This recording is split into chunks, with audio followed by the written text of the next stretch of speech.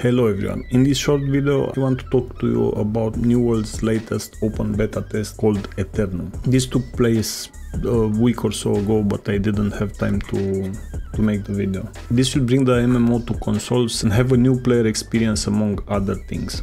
I want to give you a short disclaimer here, bear with me, as all this has a point. I've played the hell out of this game at release and during Brimstone Sands expansion. 3 max level characters and all endgame content done, a lot of professions maxed and I engaged in a lot of PvP. Despite me being mostly a care bear, in this game I got the taste of blood.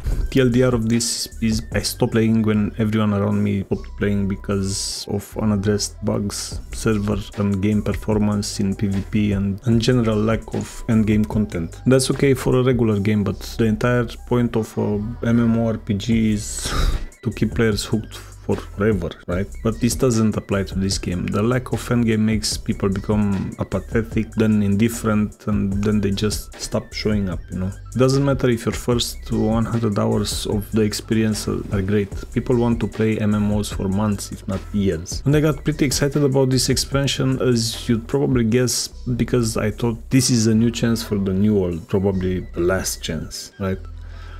So I anxiously looked up the info about this new expansion to see if it alleviates my problems with the game. First thing I saw, you need to have the Rise of Angry Earth expansion to get this. Sure, I guess, but it feels weird, you know, not a good start. But yes, sure, devs got to it, right? Cross-platform play, yeah, sure, cool.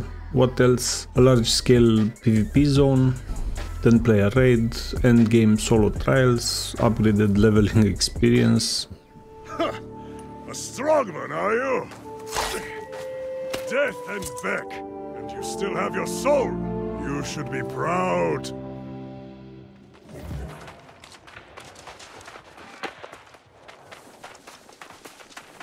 Ah, Let the air fill your lungs. No small feat you died on a ship, smashed by the storm. New character archetypes, revamped dialogue system, and enhanced story an enhanced storytelling approach. Oh my god, guys, you're killing me with this shit. Now I'll quickly address each of these as I have some thoughts and concerns about everything.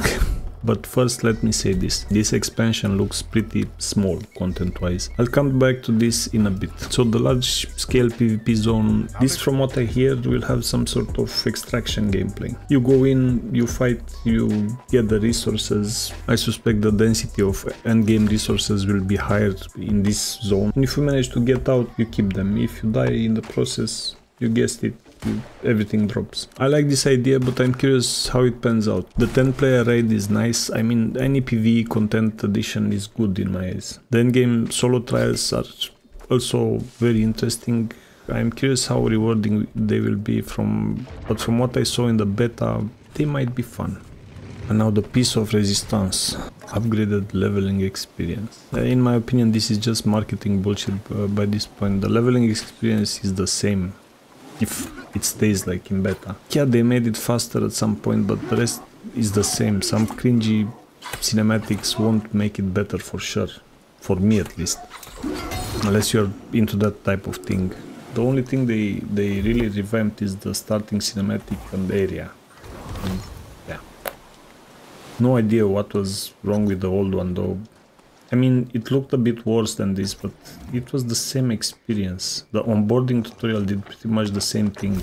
And making this look more stylized and cool while, while you keep the rest of the game realistic is weird art direction, I guess. Honestly. Why on earth you put so many work hours into this is beyond me. It makes no sense. And, and it doesn't do you any favors when you when you stop uh, going to these solo instances and you're thrown into the starting area you might get sad because the quality seems to take a nosedive you know? You're suddenly so you're playing diablo 4 and suddenly you play grim dawn you know?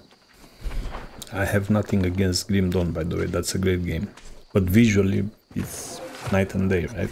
At least they added some colorful bits here and there in the form of some corals. in the next area, but yeah, they, there's a big disconnect.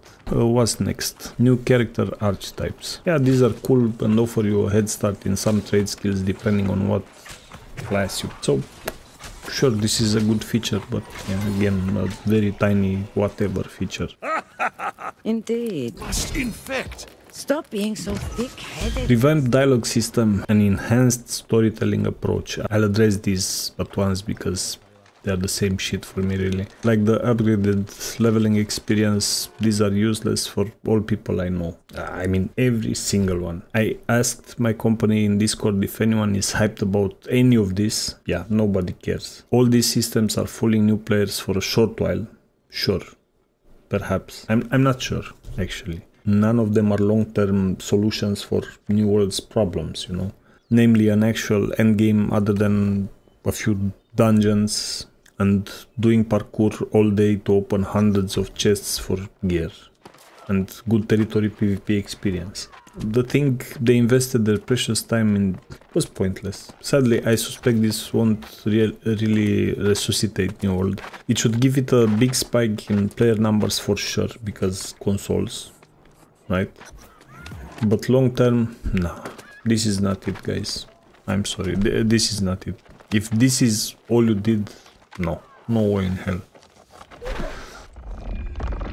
I'm sure we can find a reason. I'm no less infuriated. More. If that.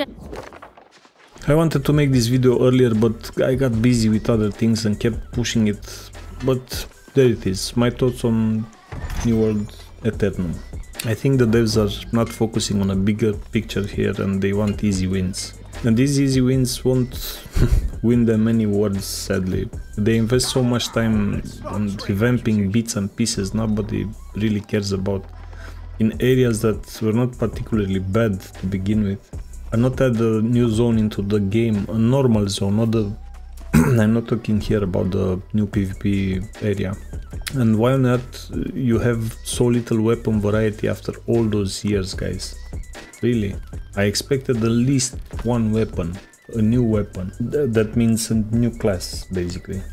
Doesn't know. I, I don't get it. My, my small brain can't comprehend how you release a new expansion without a freaking weapon. But hey, at least you revamped the dialogues. Yay! To be honest, I fully recommend this game to new players as it's a great experience up to a point. Just treat it as a normal game, not an MMO, you know? What I mean by that, don't expect it to last for months or years, because it won't. It, it will fade out pretty fast after some point. There's good fun to be had in this game, especially when new servers uh, open. The new player experience is pretty cool. Crafting, the, all the chaos in the world, the PvP, people not knowing what they're doing and stuff. You can abuse the market. You, you can do a lot of cool stuff in the beginning, you know. But after that, when everyone enters the farming gear mode with all the chests farming and there are not many dungeons. Uh, I mean, I, I think there are 12 dungeons uh, at this point. I think they had 5 or 6 when I last played the game. But even those, after a while,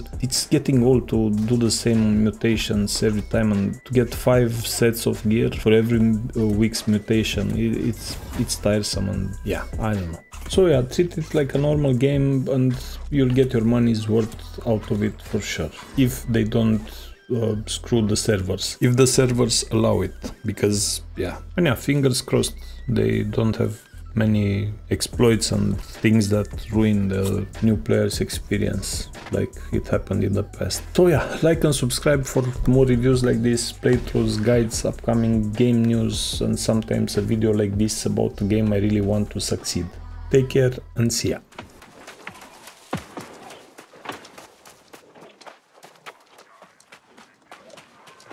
There you are. I was unfortunate. I worry it's bad. Helio.